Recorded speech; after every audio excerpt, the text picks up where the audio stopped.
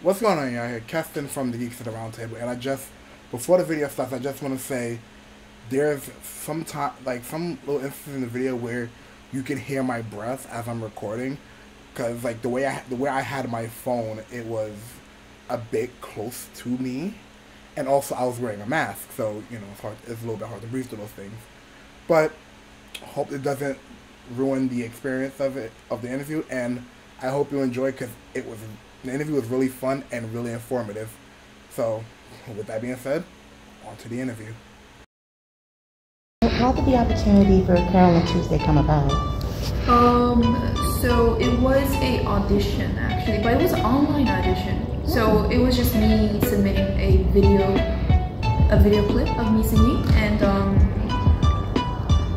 I got the role. Surprisingly, I honestly though didn't think I would get it. Like it took like literally two or three months for them to get back to us. Oh, So I was like, eh, I didn't get it. Oh, next opportunity. But then the phone rang. So. Um. Um, do you have a particular favorite song from the show? Or? I would say Round and Laundry. Um, actually, that's a song that I got to um, participate in the songwriting process as well.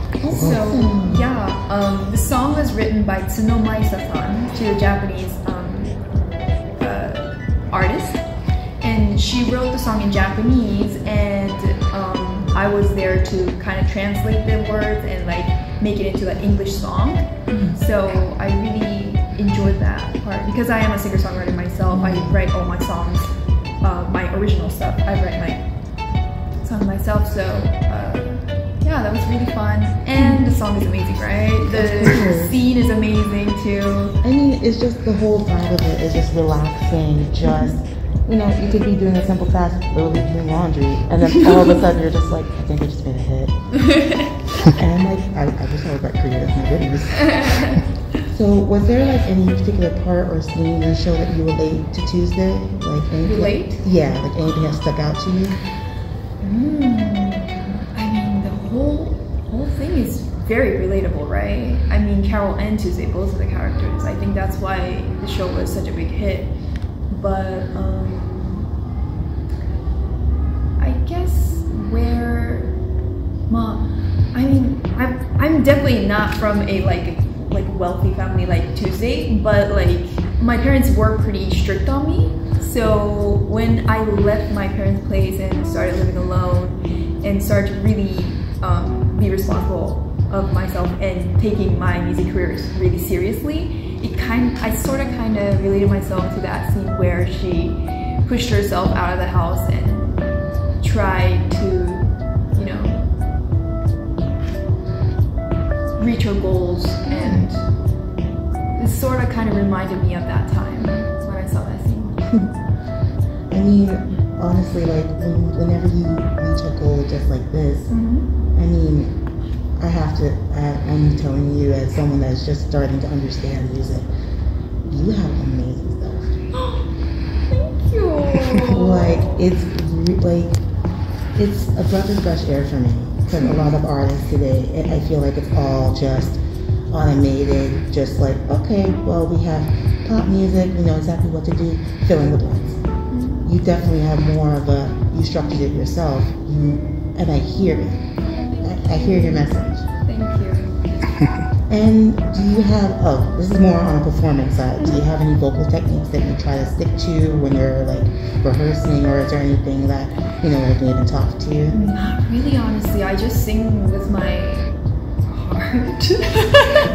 um, I'm, I don't have any techniques for singing. I actually don't consider myself a good singer, but I'm just a passionate singer. You know, I the message really matters to me actually than the technique or how I how my voice sounds. Mhm. So um, I always make sure that I'm in the zone when when uh, I try to keep my mind in the right place when I'm performing and singing, recording as well.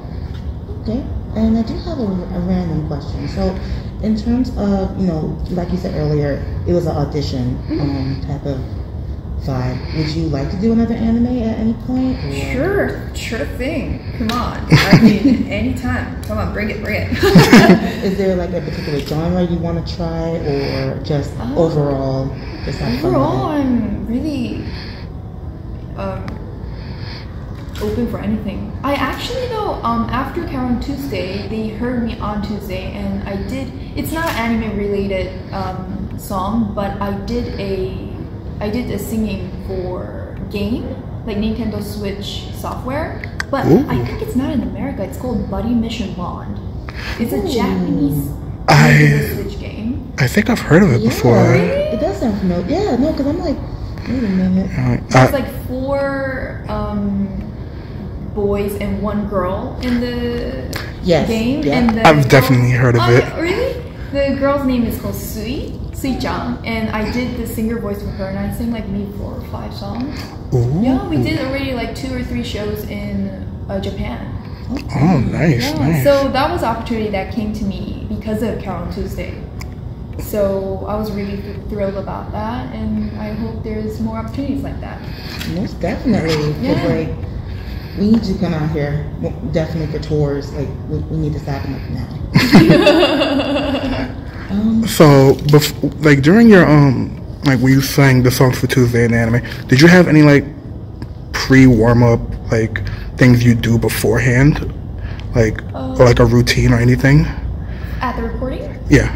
Uh, well, because it was a duet with Nai, which is the singer voice for uh, Carole Yeah. on Carole Tuesday, um, I did make sure to communicate with Nai because um, literally the recording sessions were the only time that I get to see her.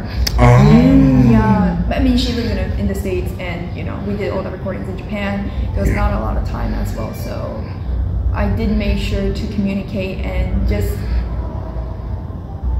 mentally communicate. You know, like not Yeah. technically. We were talking more about like random stuff, just to get to know each other and to Yeah. be in the same vibe. So that was, I guess, the routine that we had.